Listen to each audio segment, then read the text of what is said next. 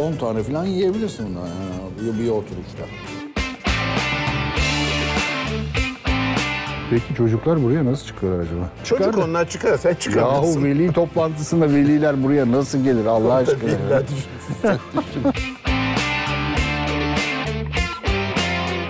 Excuse me. Yes. Alright. Neredeyiz?